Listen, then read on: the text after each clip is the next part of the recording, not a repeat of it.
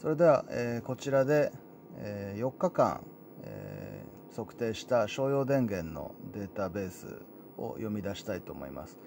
こちら外部ハードディスクに記録されたものなんですが700メガバイト、えー、700ギガバイト、えー、あるデータになります。でこちらをロードする。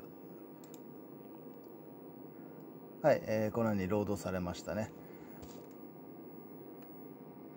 で商用電源ですのでこのように、え、サイン波なんですけれども、え、この取った4日間のデータをですね、え、このように素早くサクサクと、え、参照あの検索することが可能でして、え、でこちらを押すとこのように走らせることも可能ですあの700ギガのデータがこのようにサクサク動くことも、えー、非常に優れた点の一つになります。でそして、えー、すごい点もう一つとしてはこのように、あのー、このサイン波、えー、を 分類することが可能になります。こちら見ていただくと、えー、全部で1800万個の、えー、サイン波がありましてでこの水色ですね、えー、こちらが、67.42%そして、このピンク色が、31.67%とまあ、大半が、この2つで占めております。でこちらで見ていただくとこれですね。これが1200万個あります。でこちらが570万個あると。ちょっとしたこの辺の差ですね、えー、商用電源ですので非常にあの安定していて、まあ、あんまり差が見られないんですけどもこのわずかな差も分類しております。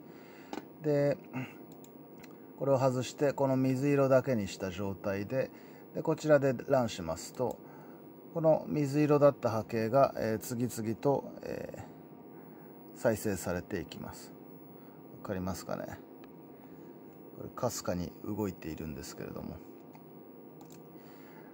はい。でここにあのその分類の個数が書いてあるのでここ見ていただくとこれ1個しかない。えー、このように上がちょっと出っ張ってしまってるやつですね。ここも変なことが起きてます。で例えばこちら。これはここでなんか非常に変なことが起きてますね。でこれを外してじゃあこれいつ起きたのか。これもこれクリックしていただくとはい。このように下が切れてしまってるのがここにありますしで次に、えー、これですね。これ隣り合ってたんですね。上が出っ張ってしまってるところ。がこちらに出てきます。でこちら見ていただくとこれなんかは、えー、まだ2種類なんかありそうですね、えー、なので9個の分類だとこれ一緒にされてしまいますけれどもここで素早くですね、え分類の数を変えることができます。これ5にすると5個の分類に分けます。まああの要は 違いが大きい5つっていうことですね。でこちらを今度は12個にしていただくとこのように12個に分けられます。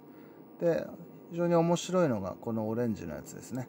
このオレンジのやつ見ていただくとこういうグリッチが、見えています。じゃあそれどこにあるのかってやると、こちらですね、測定開始から3日間と14時間17分39秒のとこにこのようなグリッチが、えー、見られます。まあ、1800万個のサイン波の中でたった1回起きたこの変な、え波形をこのように瞬時に、え見極めて、えその場所に、え飛ぶことが可能です。